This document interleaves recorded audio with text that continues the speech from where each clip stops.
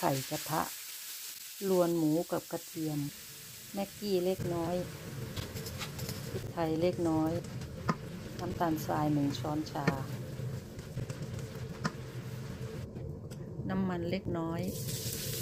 ผัดกุ้งให้สุก หยอกแม็กกี้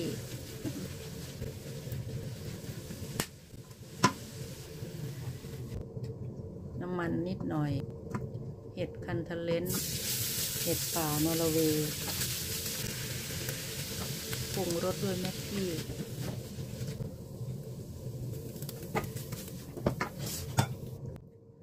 เติมน้ำมันเล็กน้อย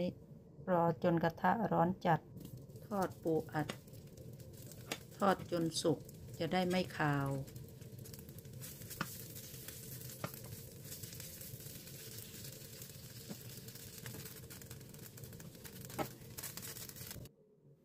เครื่องพร้อม วันนี้ใช้กระทะสูงสูง เติมน้ำมันเล็กน้อย ตามด้วยน้ำปลานิดหน่อย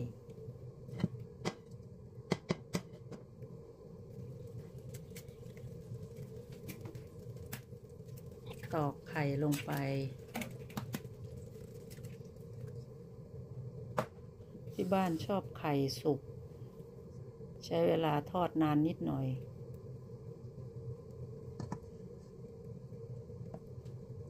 ติมพริกไทย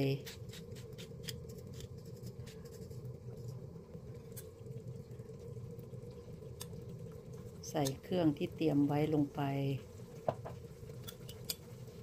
ชอบมากใส่มาก ชอบน้อยใส่น้อย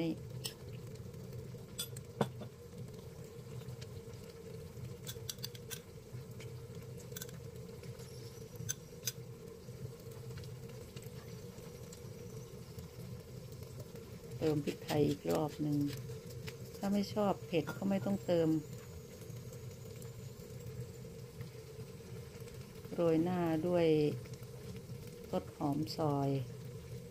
อันนี้ อันนี้ฟังทิ้งไว้จนฝากไข่จะสุกดี